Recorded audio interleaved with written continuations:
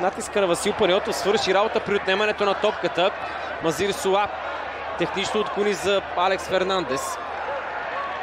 Цветомир Панов. Отлични действия на Цветомир Панов! 1 на 0 за Черно море!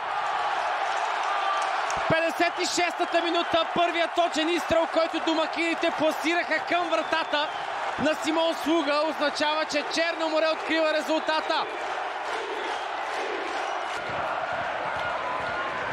Тук настоятелните действия на Васил Панайотов отнеха топката в полза на моряците, а след това добри думи заслужават и Алекс Фернандес и Мазир Сула, които набързо пренесоха топката а, към а, левия фланг, там където Цветомир Панов сякаш наистина не се нуждаеше от втора покана.